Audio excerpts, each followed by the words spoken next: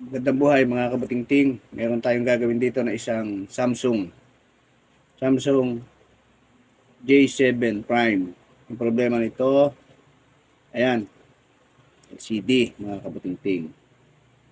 Ito nyo, basag-basag na siya. Kaya ang gagawin natin dito, kaganyang basag-basag na yan, eh talagang babasagin na natin tuloy yan. At simulan natin mga kabutingting. Anong gagawin nyo? Init nyo para madali siyang tanggalin. Dalawa, kumuha kayo ng manipis na plastic. Wala kayo. Meron may nabibili na mga kabutingting sa kung gusto niyo talagang matutong gumawa ng cellphone. May nabibili ng mga gamit, mga tools. Yan. Ngayon, nyo yan shoot nyo siya dyan. Pagka na ako nyo na yan aangat na siya eh. Kasi barag-basag na siya eh. Oh, oh ayun oh. Ayan, tanggal na oh. Ngayon ka natanggal nyo na siya. Ayan may naiiwan di ba? Ayan may mga naiiwan siya. Ayan. Tanggalin nyo lahat yan. Kailangan malinis. Malinis na malinis mga kabutingting. Kaya simulan natin Wow! paglilinis tanggalin natin lahat yung mga naiwan Ayan, shoutout pala doon sa may-ari. Ito pong may-ari ng cellphone na to ay isang vlogger. Ang kanya pong Facebook page ay Papa Woods TV. Papa Woods and Family TV. Yan. Tsaka po ang kanyang may bahay ay si Elena Haro. Yan, meron din po siyang page. Like and follow na rin po sa kanilang Facebook page. Yan. Promote ko rin po yung uh, vlog ng aking asawa, Glenn and Family Vlog. Yan, meron din pong ng aking asawa. Dalawin nyo na rin po ako sa YouTube channel. Bong Butingting.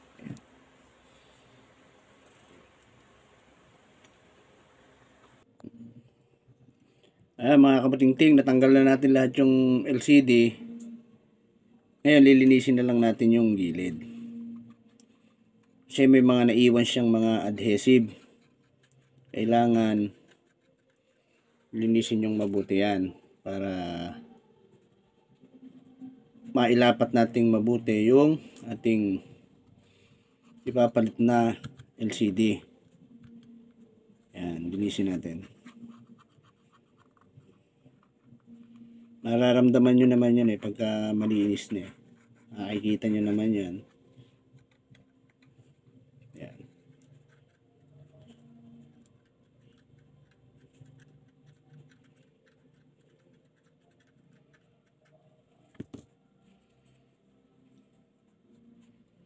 ikaw ay napadaan sa aking channel nagustuhan mo ang aking mga video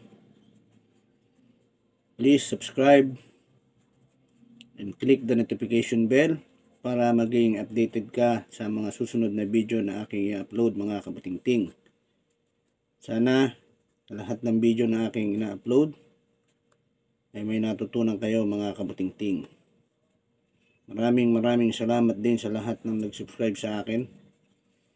Mga nagtiwala sa akin. Mga nagpagawa sa akin. Shoutout sa inyong lahat. Yan. Mabuhay po tayo. Yan. Ngayon, nalinis na natin. Ito yung papalit natin. Ito yung papalit natin. Ito yung bago. Ito yung luma. Ayan o. Puro basag.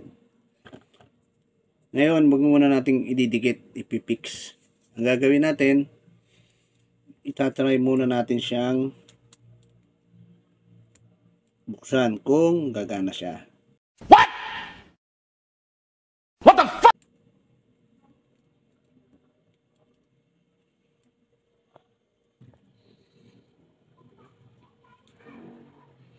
Yan mga kabutingting. Naikabit na natin yung LCD pero hindi pa natin naipipix. Try natin. Ayun. May password siya. May pattern mga kabutingting. Ngayon ang gagawin nyo pagka ganyang may pattern. punta kayo dito sa emergency para malaman nyo na gumagana siya subukan nyo. yan 2, 3 yan sunod sa una kahit balibalik rin nyo yan basta gumagana siya no problem. Ibig sabihin good yung ating LCD ayan o kikita nyo naman di ba? Ayan o gumagana siya. Diba hmm. pindot ng 1 pindot ng 8 oh, 0 2 ayan gumagana siya. Ibig sabihin good yung LCD natin. Kaya ang gagawin natin ipifix na natin yan mga kabutingting simulan natin A few moments later. Ayan mga kabatingting, uh, na natin yung LCD. Lagyan na natin siya ng adhesive. Simulan natin mga kabatingting.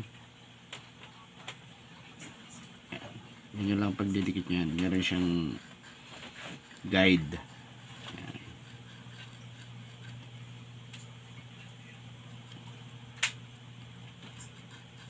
Di baling sumobra huwag lang kulangin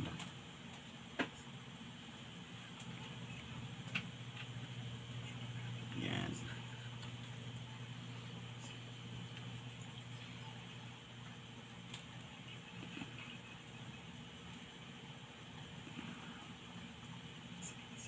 Yan.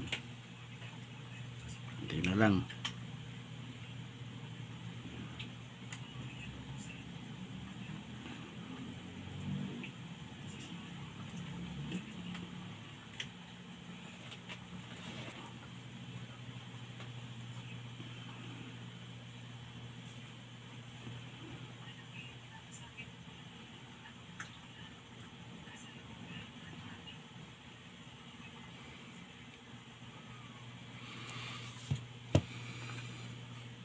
tingting kabit na natin yung kanyang LCD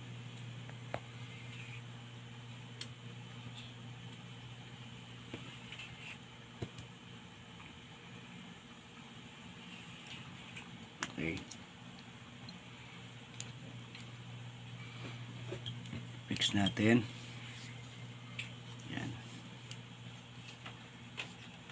Kailangan lapat na lapat yan mga kabutingting.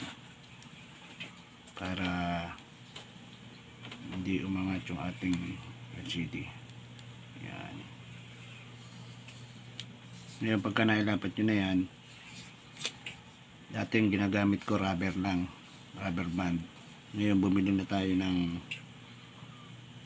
para siguradong didikit uh, abating-ting kapit natin. Ayan mga kabating-ting, ilapat natin apat. Konting higpit lang, tansyahin nyo lang yung huwag namang mababasag yung LCD natin.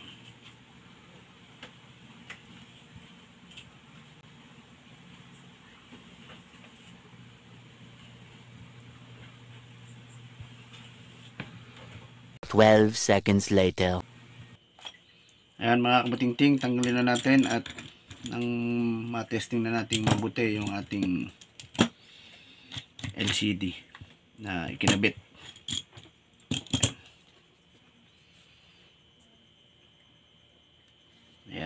Kabating-ting, 23%.